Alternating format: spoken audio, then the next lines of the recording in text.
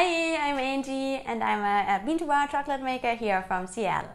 And I got a question via Instagram why Belgian chocolate is so famous and so popular. And that's the question I want to answer in this video today.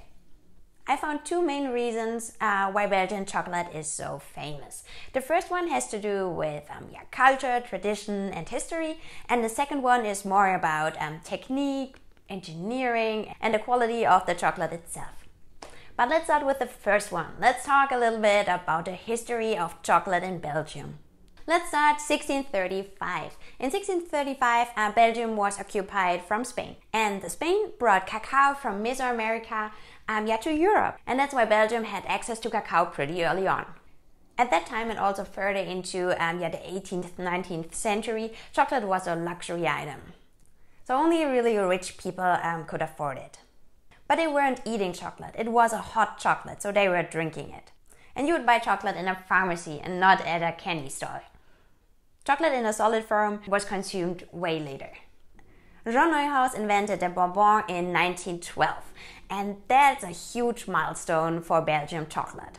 He invented a confection that had a um, hard chocolate um, shell and a really soft center, and that's what we call bonbon today. In Belgium or also um, in Germany, where I'm from, you call it praline or praline in Germany.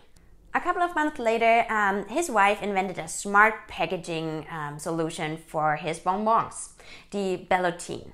It's a very um, yeah, famous packaging when you buy chocolates, um, especially in Europe. When we've been to Belgium, um, yeah, I think five years ago or so, uh, we also bought some Neuhaus chocolates, also in a Bellotine. But at that time, I had no idea about the history of chocolate. So that's pretty cool that I already had Neuhaus chocolate uh, in a Bellotine, um, yeah, a couple of years ago.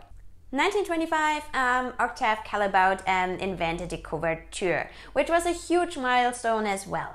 The invention of uh, the couverture was so important because it was the first time where chocolate um, doesn't need it to be um, yeah, refrigerated and reheated afterwards which reduced the overall cost in um, the chocolate production and the chocolate itself. So that's a huge milestone. After World War II, so after 1945, chocolate becomes affordable even for the working class. And that's because of mass production. This also means chocolate is no longer a luxury item.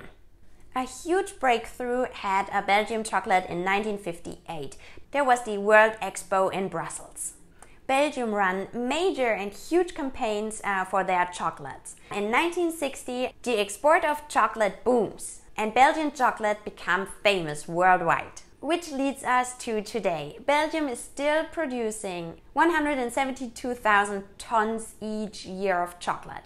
And you have to keep in mind that Belgium is really not a huge country. And there are over 2,000 people working as chocolatiers in Belgium. Another reason why um, your Belgium chocolates are as associated with high quality chocolate is for the ingredients that they're using. Some companies um, yeah, substitute um, cacao butter with vegetable oil which reduces the quality of chocolate. In 1884, Belgium released a law about that. So every single chocolate needs to have a cacao content of 35% or higher. And that's why the chocolate quality is higher and it tastes better.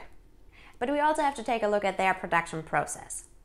They're not starting with their production process in, in their factory, they already start when the cacao tree is planted. So they control every single step until the finished chocolate. So this has something to do with um, yeah, control, production planning, and engineering.